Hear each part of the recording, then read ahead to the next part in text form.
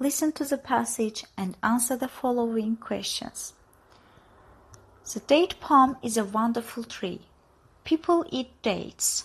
They feed them to their animals.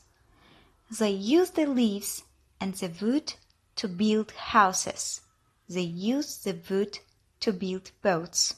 They make baskets from the leaves. They burn the other parts of the tree to cook their food.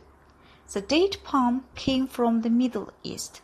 Seven thousand years ago, people in Syria and Egypt ate dates. They made pictures of date palms on their stone buildings. Today, date palms grow in the Middle East, parts of Asia and Africa, southern Europe, and other warm parts of the world. There are more than 2,700 kinds of palm trees. Most of them cannot grow in the Middle East because it's too dry. The date palm grows there very well. Hundreds of years ago, people in southern Europe and some Arab countries made pictures of palm trees and palm flowers on some of their buildings.